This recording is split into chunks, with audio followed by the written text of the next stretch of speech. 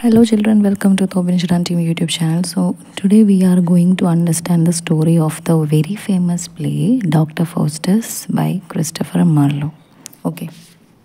The story goes like this Once upon a time, there was a very clever man named Dr. Faustus.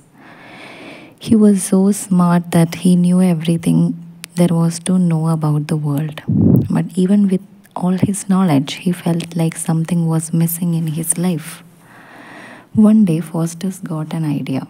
He thought, What if I could learn magic? I could do amazing things and have even more knowledge. So, Faustus decided to study magic.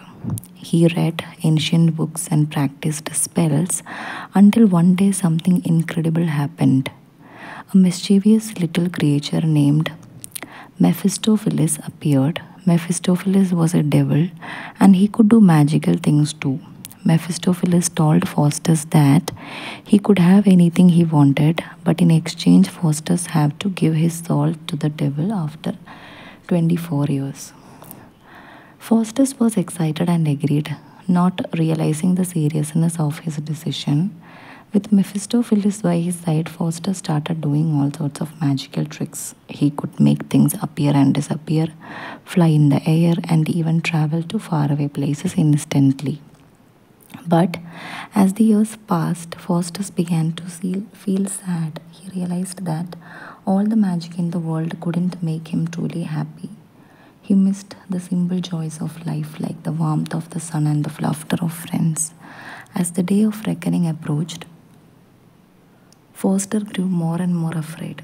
He didn't want to give his soul to the devil, but he had made a promise and he had to keep it.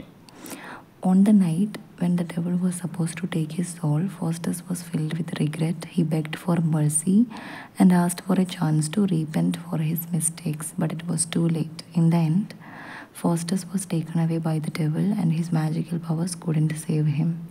His story became a cautionary tale reminding people that it's it's important to be content with what we have and not to make deals with devils. So that's the story of Dr. Faustus by Christopher Marlowe.